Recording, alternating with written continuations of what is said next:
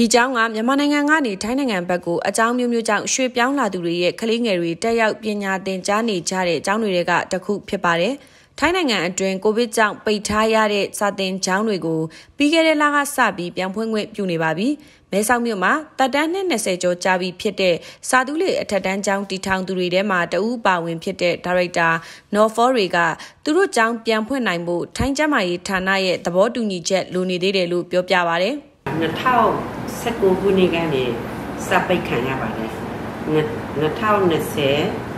2021အခုကတော့2020အခုကတော့ဖွင့်လို့တော့ရပြီလို့ပြောပါတယ်ဒါပေမဲ့အာထိုင်းကျမ်းမာရေးဌာနကလည်းလာစစ်မယ်သူတို့စစ်ချက်အပေါ်အကြောင်းကိုဖွင့်လို့ရရင်ဖွင့်လို့ရတဲ့အကြောင်းကိုသူတို့ကအာဖွင့်ဝေပေးမယ်ဖွင့်လို့မရဘူးဆိုတော့ဖွင့်လို့မရဘူးပေါ့ဘာဖြစ်လဲဆိုကျမတို့ဒီကျမ်းမာရေးဒီကိုဗစ်မူနဲ့ ကျမတို့အချက်20လိုက်လုပ်နေရပါတယ်။ကျောင်းသေးသေးနဲ့တချို့ကျောင်းအလူရှင်မရှိတဲ့ကျောင်းတော့ဒီအချက်20လက်လိုက်လုပ်ဖို့ကတော့နည်းနည်းခက်ခဲပါတယ်။အဲတဖြည်းဖြည်းနဲ့တော့လုပ်နိုင်အောင်ကြိုးစားပြီးတော့ကျောင်းပြနိုင်အောင်ပြန်လုပ်ရမှာပေါ့။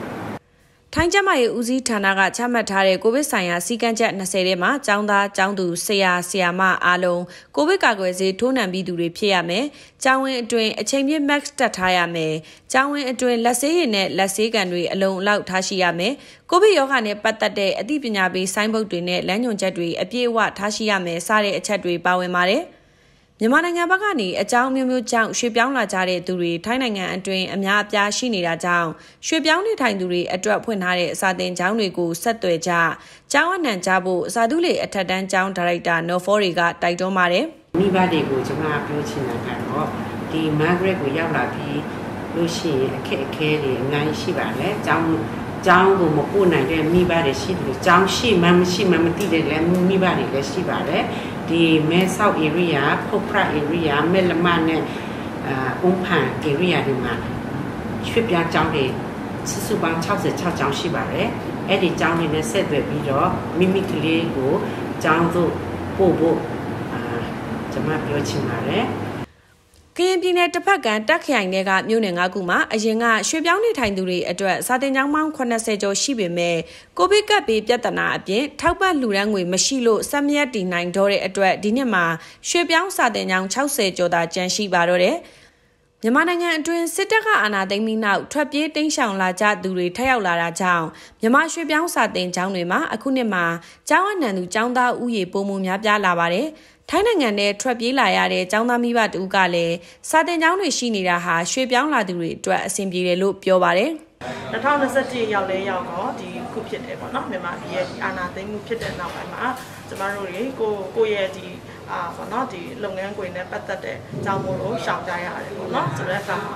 ကလေးရဲ့ပညာရေးကဒီမှာ gap ဖြစ်သွားတာပေါ့နော်ဆိုတော့လန်လန်မမီဘူးပြောရမယ်ဆိုရင်တော့နှစ်နှစ်အောက်သွားတဲ့ပုံမျိုးဖြစ်တယ်ပေါ့နော်ဆိုတော့အဲကျမဒီမှာရောက်လာတဲ့အချိန်မှာအဲဒီမှာဒီ migrant ပေါ့နော်ဒီလိုမျိုးရွှေ့ပြောင်းလာရတဲ့သူတွေအတွက်ကိုအဲအကြောင်းကရှိထားရတယ်ပေါ့ဆိုတဲ့ဟာမျိုးအဲကျွန်မသိရတယ်နောက်ကြတော့လည်းကျွန်မကရင်မျိုးတယောက်ဖြစ်တဲ့အတွက်ကြောင့်မို့လို့ဒီပေါ့နော်ဒီသမီးကိုဒီကိုယ့်ရဲ့ဒီပညာဟိုဒီပါဒီရိုးရာပေါ့နော်ကိုယ့်ရဲ့ဒီကရင်လူမျိုးရဲ့ဒီရိုးရာပေါ့နော်ဒီဘာသာစကားပုံနဲ့ကျွန်မဆက်လက်ထိန်းသိမ်းထားခြင်းနဲ့ဆိုတော့ဒါကြောင့်မို့လို့ကျွန်မဒီကြောင်းမှာလည်းအဖြစ်တဲ့သဘောမျိုးဖြစ်တယ်ပေါ့နော်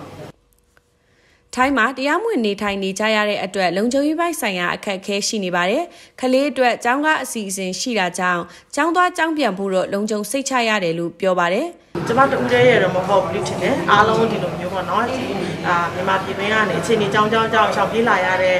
မိဘအတိုင်းပဲဒီလိုမျိုးကြုံရလို့ထင်တယ်။အားလုံးကတော့ဒီဟိုစာပေါ့နော်မလုံခြုံတဲ့အနေထားတော့ရှိတယ်။ဘာလို့ဆိုတော့ကျမတို့ကဒီနိုင်ငံသားမဟုတ်ဘူးအားလုံးကပေါ့နော်ဒီ stateless ဖြစ်တဲ့အခါကျတော့ ဒီမလုံခြုံတဲ့အနေအထားတော့ရှိတယ်ဒါပေမဲ့အာကျမတို့ဒီဂျားထဲမှာတော့အတက်နိုင်ဆုံးတော့ပေါ့နော်အာလုံခြုံအောင်တော့လုပ်ရတဲ့ဒီလန်လေးတွေတော့ဟိုရွေးရတာပေါ့နော်ရွေးရတယ်ဆိုတော့အเจ้าအနေနဲ့ကြတော့လေဟိုစာပါနော်ခုနကကျမတို့ဒီကလေးရဲ့ city အရဆိုရင်တော့သွားပြန် ferry ဒီစင်စီစဉ်ပေးထားတာတွေရှိတယ်ဆိုတော့ဒါကလည်းဟိုစိတ်ချရတဲ့အနေအထားပေါ့နော်ဆိုတော့အဲအဲ့ဒါကြောင့်မို့လို့လည်းကျမအကြောင်း app ဖြစ်ခဲ့တာလည်းပါတယ်ပေါ့နော်အားလုံးလည်းဒီမှာတက်ရောက်ကြတဲ့အတွက် က်ကြောင့်မလို့ကျွန်မလည်းဒါ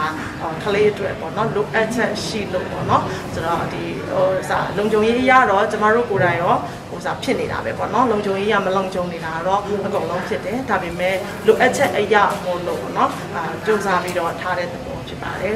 မြန်မာရွှေပြောင်းစာတင်ကျောင်းအများစုကမြန်မာနိုင်ငံရဲ့ပညာရေးသင်ယူညွှန်တမ်းအတိုင်းသင်ကြားပေးတာဖြစ်ပြီးထိုင်းစာအင်္ဂလိပ်စာနည်းပညာနဲ့အသက်မွေးဝမ်းကျောင်းပညာရပ်တွေကိုလည်းသင်ကြားပေးနေပါတယ်။ ကျောင်းတချို့ကတော့အနောက်တိုင်းသင်ယူညွှန်တမ်းအတိုင်းသင်ကြားပေးတယ်လို့သိရပါတယ်။ရွှေပြောင်းစာတင်ကျောင်းအများစုဟာထိုင်းဆိုရအတိမတ်ပြုပေးထားတဲ့စာတင်ကျောင်းတွေဖြစ်လို့ကလေးတွေရဲ့လုံခြုံရေးပိုင်းနဲ့ပတ်သက်ပြီးစိုးရိမ်စရာမလိုဘူးလို့ကျောင်းသားမိဘတူကပြောပါတယ်။ထိုင်းဆိုကလာပြီးတော့စစ်ဆေးမင်းမျက်နှာတွေပါလည်းမရှိပါဘူးရှင့်ပြီးတော့နောက်တစ်ခုကဒီကျောင်းကစီကန်းတကြရှိရပေါ့နော်ဘာဖြစ်လဲဆိုကျောင်းဝတ်စုံတွေတေးတေးချာချာဝတ်ခိုင်းနေပြီးခါကျတော့အာကလေးတွေရဲ့ကျမ်းမာရေးကအစပေါ့နော်သူတို့ဂရုစိုက်ပေးရနောက်ဥပမာပေါ့ အဲကျမတို့အကြောင်းဖွင့်တော့မယ်ဆိုလို့ရှိရင်ဒီအကြောင်းကပေါ့နော်ဒီဟိုဒီဌာနဆိုင်ရာတွေအကုန်လုံးကိုဖိတ်တယ်ဖိတ်ပြီးတော့မှလာတယ်ပေါ့နော်အဲ့ခါကျတော့ရဲစကန်ရုံးကလူတွေလည်းလာတယ်မော်တော်ဘီကေရုံးကလူတွေလည်းလာတယ်လာတဲ့ခါမှာတို့တွေကဘာပြောလဲဆိုတော့ចောင်းသားဝစ်စုံကိုဝစ်ပါចောင်းသားမယ်ចောင်းသားဝစ်စုံဝစ်ရမယ်ပြီးလို့ရှိရင်စိုက်ကယ်စီးလို့ရှင်လဲစိုက်ကယ်စီးအုပ်ထုပ်တွေပါရေးဆောင်းရမယ်ပြီးအရက်သေးစာမတောက်စားရဘူးဒါမျိုးဆိုလို့ရှင်တို့ကမဖမ်းဘူးဒါအကြောင်းရဲ့ပြင်ပ အကြောင်းအတွင်းမှာဆိုလို့ရှိရင်တော့ဒါဟိုဘယ်လိုပြောမလဲသူတို့ကလာရောက်ပြီးတော့မှဟိုဖမ်းတာစီးရမရှိဘူး migrant ဟိုလူတွေအတွက်ဟိုထိုင်းအစိုးရကနေစီစဉ်ပေးထားတဲ့ဟိုအဖွဲ့အစည်းရဲ့အောက်ကနေဖွင့်တဲ့တရားဝင်ကြောင်းဖြစ်တဲ့အတွက်ပေါ့နော်ထိုင်းဒီဟိုရဲတွေဘာတွေကလာဖမ်းစီးရပါမျိုးတော့တစ်ခါမှမရှိပါဘူးရှင်ဟုတ်တနင်္လာရီတိုင်းနဲ့ဤတဲ့ထိုင်းနိုင်ငံဘန်ကခရိုင်ခူရပူရီမြို့မှာမြန်မာစာတင်ကျောင်းရှိပါတယ်။ ခါတိုင်းနှစ်တွေအဲ့ဒီကျောင်းမှာကျောင်းသားကျောင်းသူအရေအတွက်300ကျော်ရှိပြီးဒီနှစ်မှာတော့ကျောင်းဖွင့်စားမှာတင်ကျောင်းသားကျောင်းသူအရေအတွက်400ကျော်ရှိနေပြီဖြစ်တယ်လို့အဲ့ဒီကျောင်းမှာဒီနှစ်ကစပြီး9ရက်နဲ့10ရန်ကိုပါဖွင့်လှစ်တင်ကြားနေတယ်လို့သိရပါတယ်ရှင်။